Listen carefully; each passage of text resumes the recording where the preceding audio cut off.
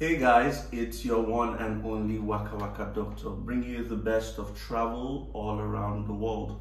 On my social media platforms, I share information with regards to moving abroad, helping you actualize your travel dreams. Um, it's always good to note that I'm not an immigration consultant, but every information I share on my platforms are as a result of my wide experience and um, having traveled to more than 60 countries and living plus working in five of them. Now, if this is the first time of seeing my YouTube channel or coming across my YouTube channel, it'll be a very nice idea for you to subscribe and turn on your notification button so that you can always get alerts whenever I post new videos. I post videos every week, maybe once or twice a week. If you've always been here cheering me up and watching my videos consistently, I want to say thank you. I do this because there are loads of results, loads of people who watch my clips and move abroad. So I'm happy to always continue to do this. All right. This episode is another brand new one, something totally different, something totally fresh. And as you can see from the title, it's moving to France. Yes, you can move to France for free and get paid. Does that make sense? Move to France for free and get paid. Well, it's not a total 100% because some of these opportunities you might have to pay, but just a little amount of money, but you still get paid when you get to France. Surprised?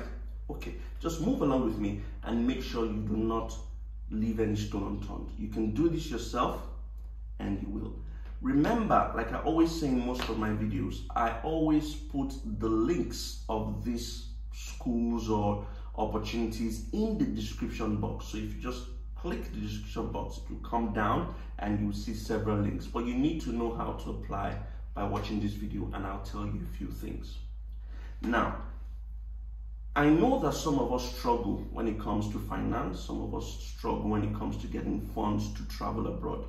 And this is why I'm sharing this opportunity. Because even though you can apply for scholarships and tuition waivers, sometimes it is still daunting. So with this, you can go to France and not pay tuition, or if you have a small amount of money, you can use that small amount of money to pay part of your tuition because your employer will pay the rest. So the benefits is that you will get your employer to pay you monthly. Your employer will pay you, say, between 900 to 1,500 euros every month, depending on where you go to or the institution you go to. So that's number one. Number two is that they will pay the cost of your moving. Okay, that's number two. Number three is that you have the opportunity to learn in English and you can learn in French. There are more than 670 programs where some of them are taught in English while others are taught in French. So you have to do your research and check out those programs that are in English if you're from an English speaking country. So you can also work while you do this. So remember that I said your employer will pay you, but aside from that, and you'll be studying, but aside from that, you can also do a second side job. Now, another pro is that work visas sometimes are difficult to get, very difficult to get. But this is like you applying for a student visa, so it's easier. You get it? Good stuff. Now, France initially had said that this program will only be for those who are between 16 and 29 years of age. But don't worry, you know I always share good news now. If you're uh, uh, if you're older than 29, yeah, you know, me to Methuselah kind of, you know, old, you still qualify. So even if you're 30 and above, you can still do this. What are the requirements? Fantastic. Number one is your international passport. You need your international passport, of course. Number two is um, your high school grades. You need your high school grades. So you need to have at least three to five credits, depending on the school. You need three to five credits in your high school. So that's important, okay? Then you need a certificate of experience. So if you have skills, you're a barber, you're a plumber, you're a hairdresser, you're a stylist, you're a welder, you're a this, you're a that.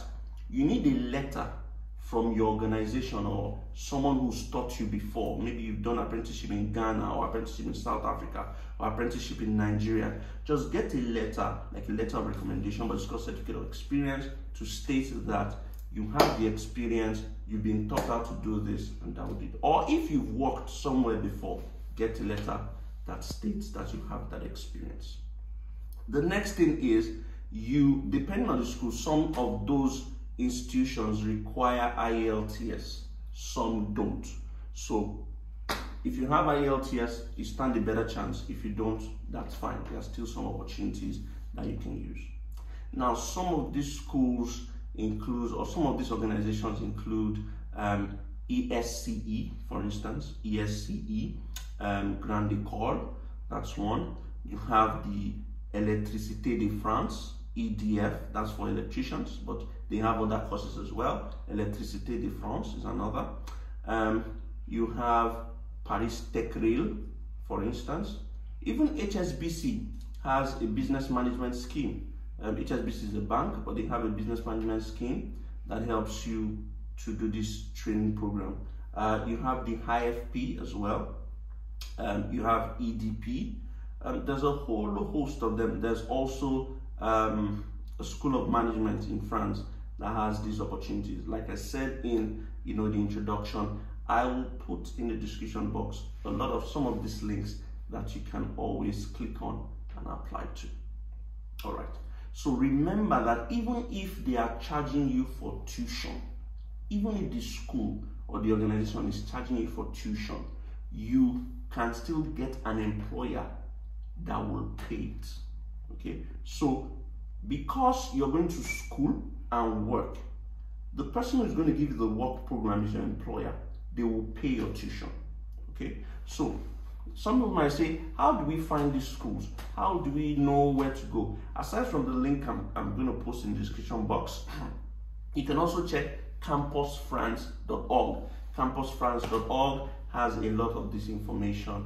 It's called the apprenticeship program apprenticeship program or the French work study pathway.